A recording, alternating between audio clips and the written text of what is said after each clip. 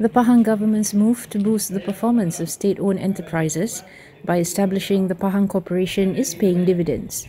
Menteri Besar Datuk Seri Wan Rosdy Wan Ismail said Pahang Corporation had helped to scrutinise investment proposals in terms of returns and business risks and monitored the performance of 40 state-owned subsidiaries involved in various economic sectors.